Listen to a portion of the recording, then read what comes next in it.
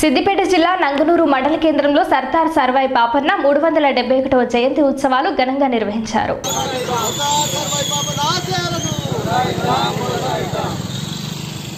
ఘనంగా జరపడం జరిగింది.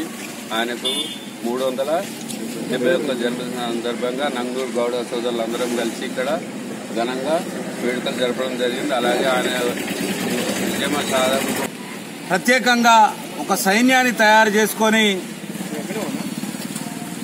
ఒక కోటను గోల్ మన ఏదైతే భువనగిరి కోటను స్థావరంగా చేసుకొని తను అక్కడి నుంచి పరిపాలన సాగించి మరి గౌడ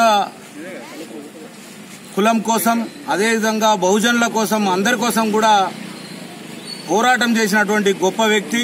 మరి తాను పోరాటం చేసినటువంటి పోరాట పటిమను మరి గౌడ సోదరులందరం కూడా తన ఆశయాల కోసం తప్పకుండా ఆయన ఆశయం మేరకు ఆయన పరిపాలించిన పరిపాలన ఎంతో గొప్ప గొప్పదైంది.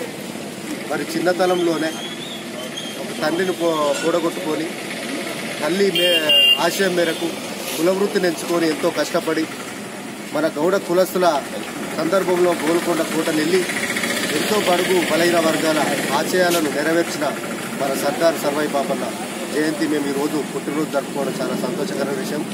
ఆయన ఆశయం కోసం మేము ప్రతి ఒక్కరము ఉండి మేము ప్రతిజ్ఞతో మేము మండల ఆధ్వర్యంలో మేము